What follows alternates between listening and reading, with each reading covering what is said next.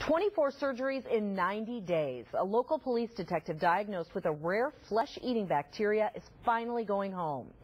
The detective has been in the hospital since April, fighting for his life. Fox 4's Carrie Stoll is live at St. Luke's Hospital with details on that. Carrie? And Detective Josh Ward has worked for the Lee's Summit Police Department for the last nine years. He's made a career helping other people.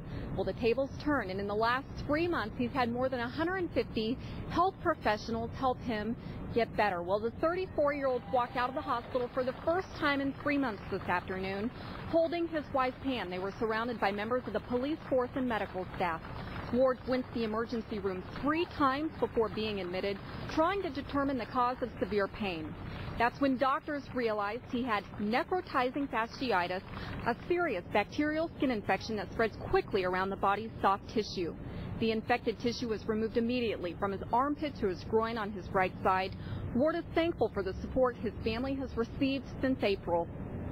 They truly work miracles here, and um, when I heard about what happened to me, uh, I really believe that you know they they honestly saved my life. Um, and I'm really thankful for that. And I'm thankful my Melissa, my kids, my family, and uh, that includes all the officers at of Lee's Summit Police Department. Um, supported me, came and stayed with me through the rough times. And Detective Ward will continue physical therapy outside the hospital. He says returning to work really isn't his focus right now. It's more about just being better for his wife and his kids. Carrie Stoll, Fox 4 News, working for you in Kansas City. Thank you, Carrie. The